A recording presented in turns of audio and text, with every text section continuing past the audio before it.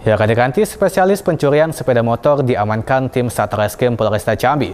Pelaku telah beraksi di 11 TKP di kota Jambi. Kanti-kanti, informasi kau sekaligus nutup perjumpaan kita pada Borgol hari Iko. Saya berjumpa pada Borgol esok hari di jam yang sama. Saya Muhammad Raidil undur diri. Assalamualaikum warahmatullahi wabarakatuh. Jack TV Inspirasi Kita. Satuan Reserse Kriminal Polresta Jambi mengamankan dua pelaku spesialis pencurian sepeda motor di kota Jambi. Ia adalah Ramadoni, warga RT 42 Kelurahan Mayang Mangurai, Kecamatan Alam Barajo, yang diamankan bersama penada yang merupakan rekannya Beni Putra, warga Mandi Angin, Kabupaten Sarolangun. Dijelaskan Wakapolresta Jambi AKBP Ruli Andi pelaku telah beraksi di 11 TKP.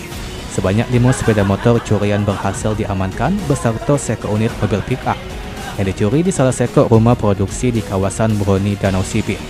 Beberapa waktu yang lalu yang sempat viral di media sosial karena aksi pelaku terekam jelas kamera CCTV. Dalam aksinya pelaku turut membawa senjata api jenis revolver yang digunakan untuk berjago-jago atau bahkan tak segan untuk melukai korbannya. Identitas pelaku yang sudah kami amankan ada dua terkait curian mur ini, yaitu yang pertama RD yang kedua BP RD ini pelaku utamanya BP yang turut serta melakukan pelaku utama ini sudah kita kembangkan e, melalui penyelidikan sehingga mampu ditemukan perkara atau kasus yang lain yang dilakukan oleh para tersangka itu di 11 TKP.